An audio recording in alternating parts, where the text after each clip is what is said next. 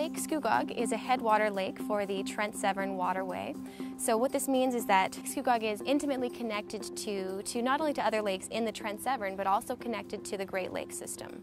Invasive species that come into Scugog or into the Great Lakes waterway are, are, free to move around without very many barriers to their movement. So when we're looking at questions about what makes starry stonewort, for example, so successful in Lake Scugog, that kind of information is going to help us understand whether or not starry stonewort is going to be a problem in, in other Kawartha lakes in the future.